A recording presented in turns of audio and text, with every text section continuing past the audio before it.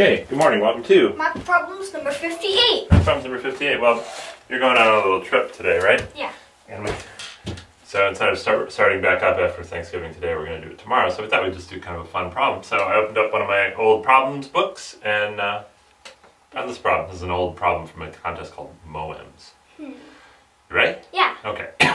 I have exactly 10 coins with a value of exactly $1. If three of the coins are quarters, what are the other coins? Ooh. Hmm. Well, Do you understand the problem first Yeah. Okay. we we know we have to make 25 cents with 7 coins. Ooh, how'd you figure that out? That's really important. Because 10 minus 3 is 7 and 3 of the coins are quarters. Okay. And and we need to make 25 cents because that's what the quarter value is and 4 quarters make a dollar. Okay, very good. Good reasoning. I like that reasoning. Okay.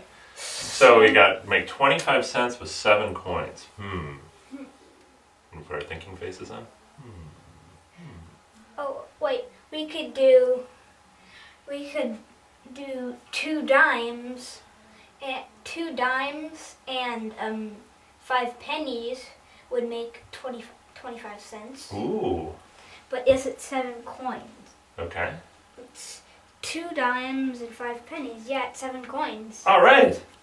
That was quick. All right. So good. Let's let's maybe let's write down what what you were thinking. So first step one was three quarters Three quarters equaled what?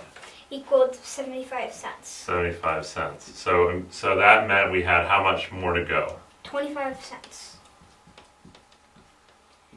25 cents. So that's what you thought about. And then how many more coins? We have, well, there, there's seven coins left. Okay, so that's how you got your 25 cents with seven coins, Yeah. right? And then step two, you said, you said, hey, how about two dimes? Because dimes are worth how much each? 10 cents. That'll get us to 20 cents. And five pennies would get us to 5 cents. five cents. And 20 plus 5 is That's 25. seven coins. And 25 cents. And then, and that's 25 cents. Yes. And so what's the answer to the question? What are the other coins? The other coins are? Two dimes and 5 pennies. Good job, sweetie. That's a problem. That's a problem for um, like I think fourth and fifth graders. That's a good. That's a good solution. Good job.